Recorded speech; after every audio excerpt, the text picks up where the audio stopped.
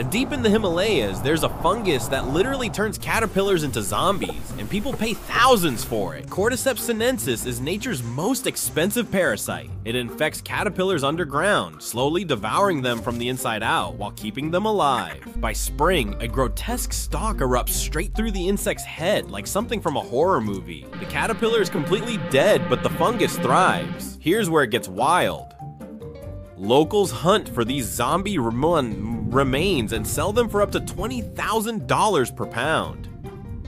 Why? It's called Himalayan Viagra in traditional medicine.